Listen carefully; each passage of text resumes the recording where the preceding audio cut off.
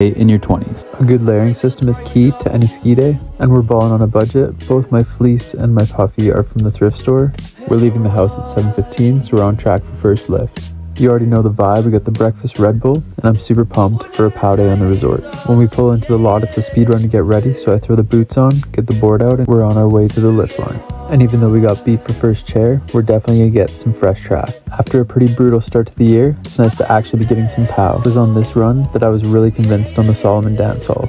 This thing absolutely rips. Now we're on the lift back up, ready for a reload on the pow turns, and Isaac had to huck a little drop straight into the double ejecto. Imagine losing all your gear when you bail. Couldn't be me.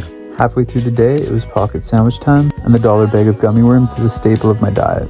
To end off the day, I had to huck this little drop. The landing was a little bit flat, but I'll be back for this one. We ride out straight to the parking lot, unstrap the bindings, and get to the car, where we've got the hot chalky and the big Stanley just waiting for us.